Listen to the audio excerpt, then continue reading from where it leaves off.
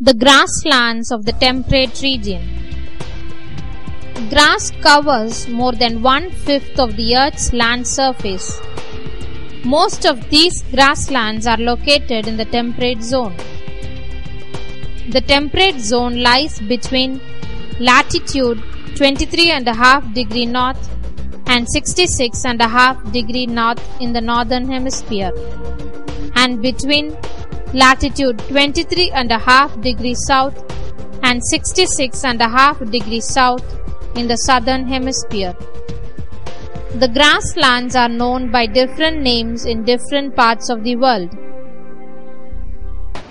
Prairies in North America, Pampas in South America, Steppes in Russia, Veld in South Africa, Downs in Australia, Savannas in Central Africa. Climate The grasslands have hot summers and cold winters. Moderate rainfall occurs mostly in summer. Vegetation and wildlife The grasslands are a vast stretch of flat land covered by miles and miles of tall grass.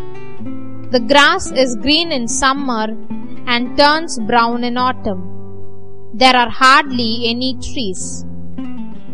Australia's grasslands are home to kangaroos, emus, and lots of brightly colored birds such as parrots and cockatoos. Wild horses are still found in the steppes of Russia. The prairies are home to the prairie dogs, small rodents, and the dangerous rattlesnakes.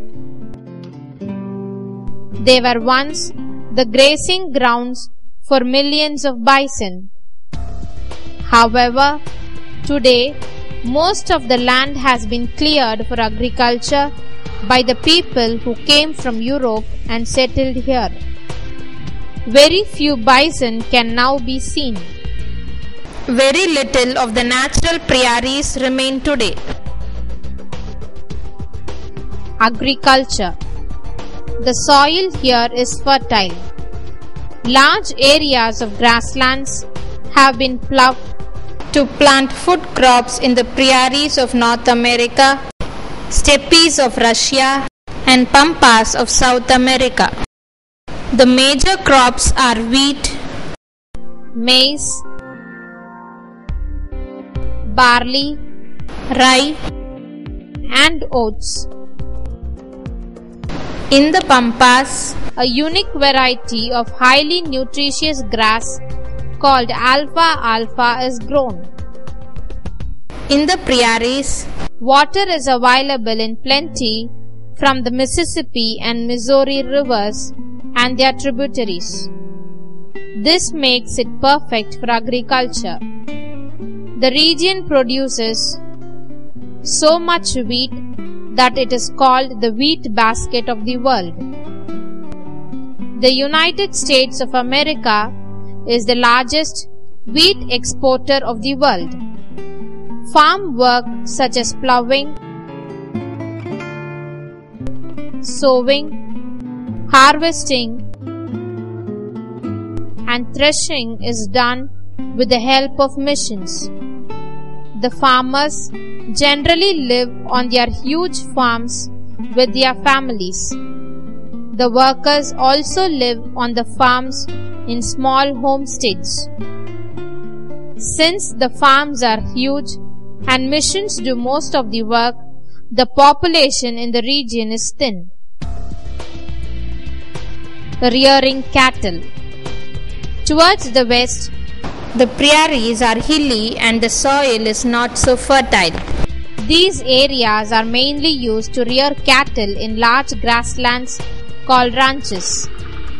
Cattle are raised for beef and dairy products.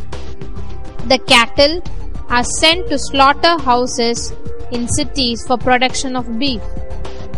The city of Chicago is an important center for slaughtering animals. Ranches and slaughterhouses are equipped with modern machinery. much of the pampas in South America are also used for rearing cattle for beef. Meat and hides are exported all over the world. In the downs of Australia, sheep are reared for wool. Australia is the largest producer of wool in the world. The industry is very modern and uses modern machines. The people The native dwellers of the prairies were the Red Indians. They were named Red Indians by the European explorers who landed in America thinking that they had reached India. They grew maize, trapped small animals, fished and hunted deer. They traveled by small boats called canoes to trade. Many of them now live on land set aside by the government for their use only. These are called reservations. However, many of them have merged into the general population, which mainly consist of European settlers as well as people who have migrated from other countries. in the steppes. The native inhabitants are the Kyrgyz who are nomads. They mainly rear cattle.